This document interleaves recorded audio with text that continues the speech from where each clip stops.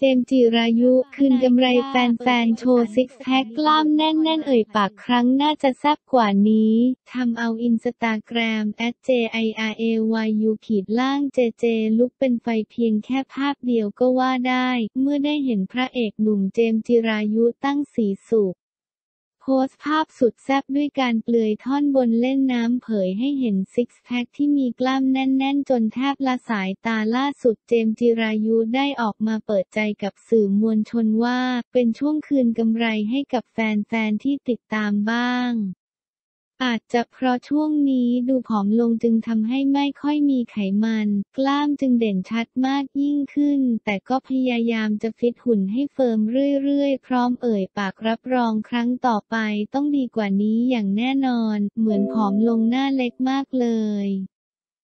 จริงหรือเปล่า คือผมก็รู้สึกว่าผมตัวบางมากๆเลยครับ มันไปเองครับ ไม่ได้ตั้งใจลดผมก็กินเยอะเหมือนกันนะครับ แต่อาจจะเพราะผมออกกำลังกายเยอะ ไม่รู้ว่ามันดีไม่ดี แต่ตอนนี้ก็พยายามเอาขึ้นอยู่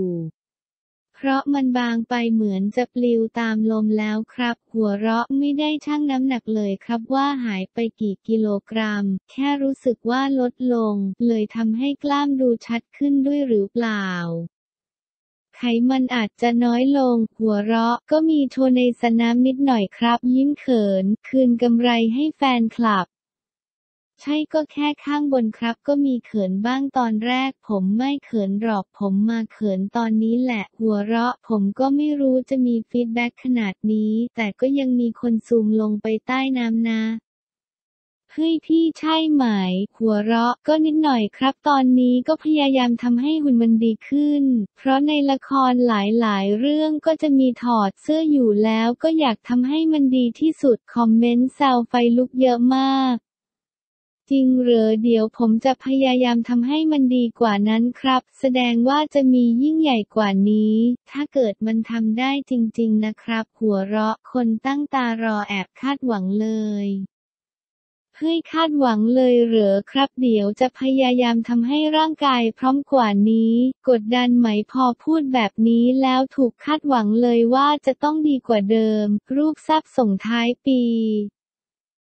คือแบบต้องโผล่ขึ้นมาจากน้ำเหรอครับ หัวเราะตอนนี้ก็กำลังฟิตหุ่นครับ ไม่มีอะไรก็พยายามออกกำลังกายอีกอย่างงานช่วงนี้เยอะด้วยมันก็เป็นผลพลอยได้ครับ มีติดต่อมาบ้างหรือยัง